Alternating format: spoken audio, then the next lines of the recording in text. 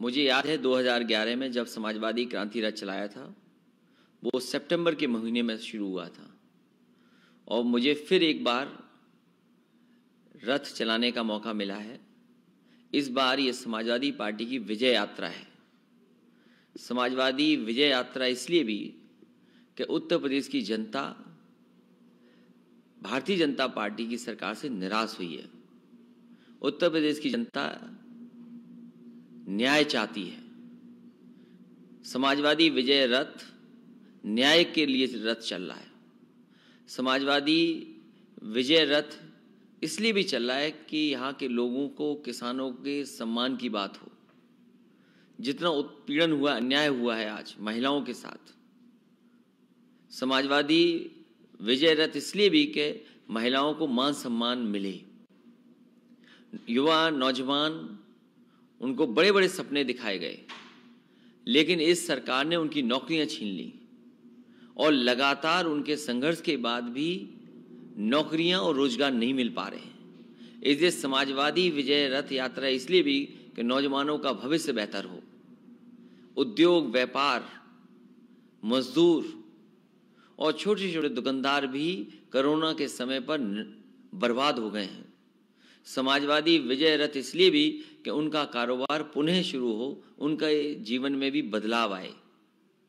समाजवादी विजय रथ हमें उम्मीद है कि जनता का समर्थन मिलेगा और जो लक्ष्य रखा है समाजवादी पार्टी ने, जिस तरह की भारतीय जनता पार्टी की दिल्ली और लखनऊ की सरकारें चली हैं, हो सकता है आने वाले समय में 400 सीटें भी जनता समाजवादी पार्टी को जिता दे।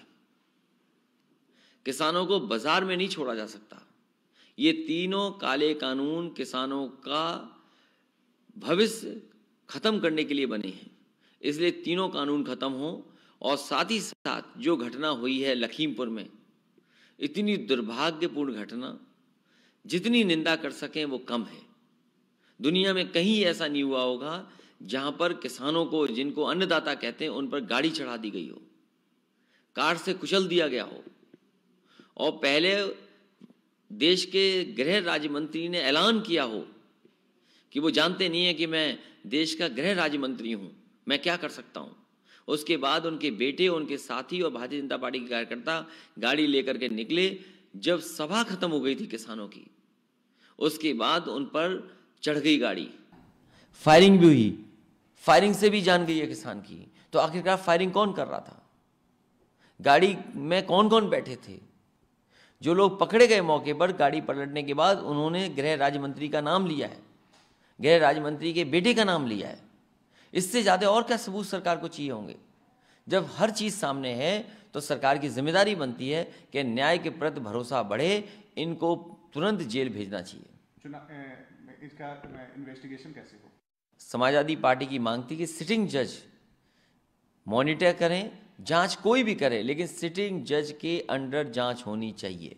क्या आप नहीं जा रहे लखीमपुर खेरी सरकार ने इतना पुलिस का इंतज़ाम किया कि कोई विपक्षी नेता पहुँच ना सके।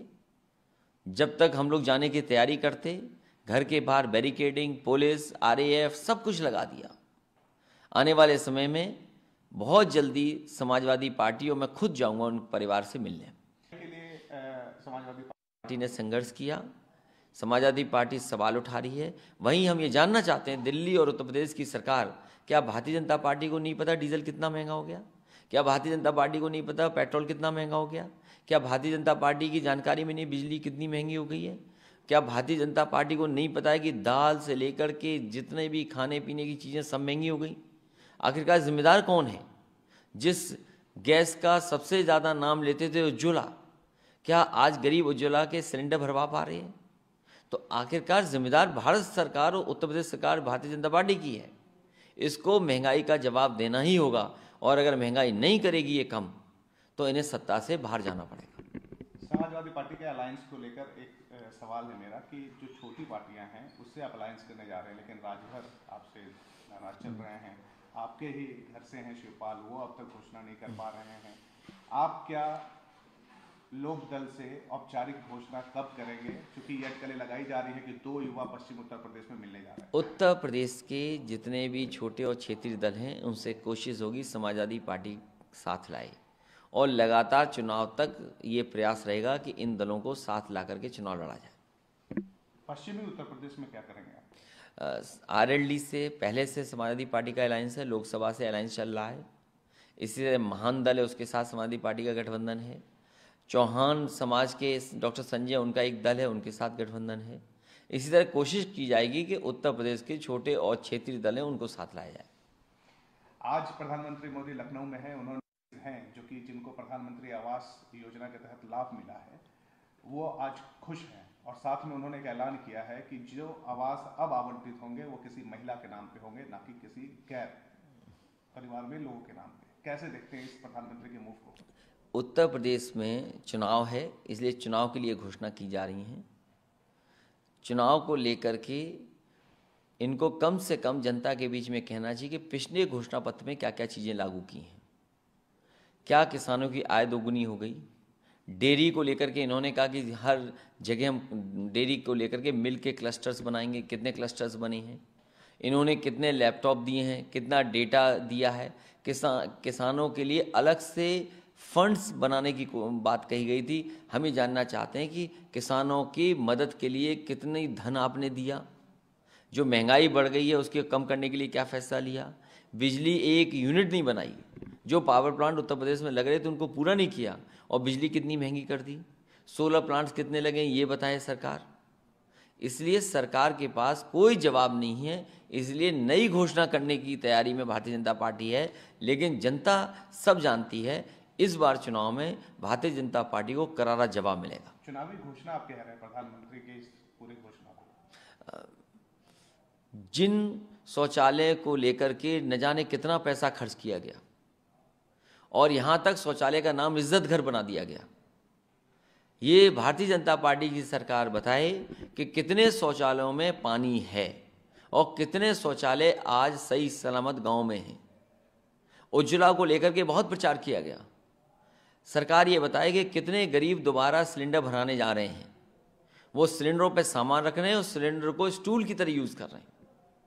स्वच्छ भारत को लेकर के न जाने कितना प्रचार हुआ, कितना फंड खर्च हुआ।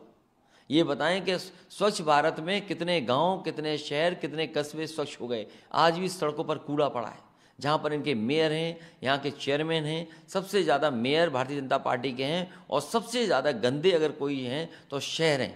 आखिरी सवाल है आपसे। आप ये कॉन्फिडेंस के साथ कह रहे हैं कि सपा की सरकार आ रही है और बीजेपी का एक मोड ऑफ़ कल्चर है कि वो आने वाले चुनाव में अपने कैंडिडेट्स का चेहरा बदलती है। क्या समाजवादी पार्टी का पायदान होगा इस बार अपने उम्मीदवारों को टिकट देने का किन किन लोगों को शामिल करेंगे और किन का पत्ता कटेगा? समाजवादी पार्टी की कोशिश होगी कि जनता के बीच में जो लोकप्रिय प्रत्याशी हैं, उन्हीं को चुनाव में उतारा जाए। और लगातार उसके लिए संगठन और लगातार उसके लिए कोशिश चल रही है। समाजवादी पार्टी में बड़े पैमाने पर लोगों ने आवेदन किए।